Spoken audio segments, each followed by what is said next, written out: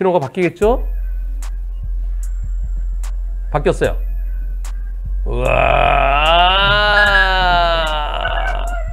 와. 다시.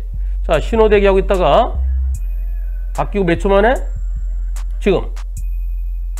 여기도 사람 없고, 여기도 사람 없네요. 자, 우. 하나, 둘. 와, 완전히 바뀐 다음에 뛰어들어왔네. 보행자가 경찰에 신고했대요.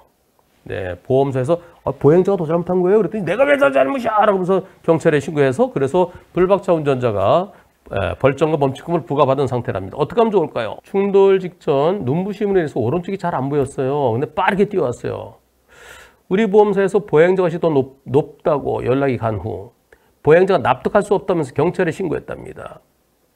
오늘 경찰서에서 사고 경위서를 작성 후 공소권 없음 종합보험 들어있으니까 아, 대신 벌점 10점 그리고 범칙금 부과한대요.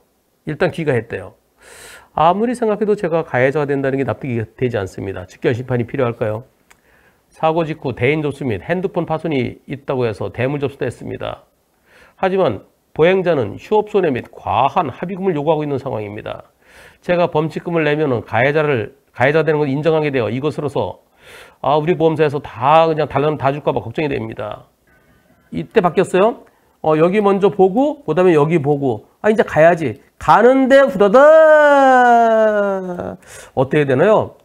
보는 게 이쪽 먼저 보고 이쪽 또는 이쪽 먼저 보고 이쪽. 뭐 순서야. 뭐 수, 어느 쪽은 네. 나는 이쪽 먼저 보고 이쪽 보고. 뭐 어떤 여기 보고 여기 보고. 그런데 한 번 보고 두 번 보고 또 한 번 봐야 될까 빰빠밤빰빰빰 어떻게 생각하십니까 여러분들? 자 신호 바뀌고 한 2초가 횡단보도 신호가 바뀐 지는 한 2초 이상 지났겠죠. 근데 후다닥 뛰어들어요. 네. 깜빡일 때 누른 게 아니라 신호가 바뀐 다음에 후다닥 뛰어들었습니다. 경찰은 불박차 잘못이랍니다. 왜? 차대 사람 서 무조건 또 차가 잘못이야. 네, 여러분들은 어떻게 생각하십니까? 불박차 잘못 있습니까? 잘못 없습니까? 투표 시작. 과연 이런 경우도 불박차 잘못 있을까요? 아까 없었는데 이제 가는데 후닥. 예. 여러분들 100%는 불박차 잘못 없다는 의견입니다. 그런데 이럴 때 경찰과 보험사는 차대 사람사는 무조건 다 차 잘못이라고. 예. 우리나라 교통조사관 중에서 95% 이상이 그렇게 보는 것 같습니다. 어떻게 될까요? 범칙금 내지 마세요. 내지 말고 직결심판 가세요. 근데 판사가요, 나 바빠요. 나, 나, 나 블랙박스 볼 시간 없어요. 그러면서 안 보고 그냥 유죄. 불만 있으면 정치재판 청구하세요. 이런 판사가 있고요.